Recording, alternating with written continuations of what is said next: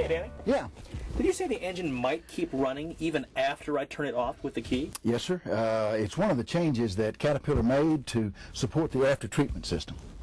It won't happen very often, but if it does, it's completely normal.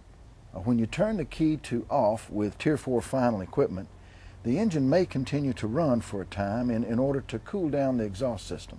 If you have an emergency that, that requires an immediate shutdown, turn the key all the way to the left, but make sure it's an emergency. Forcing an engine shutdown may damage the after treatment system. Okay, anything more I need to know about the shutdown process? Yes, uh, there's been a change in the battery disconnect procedure.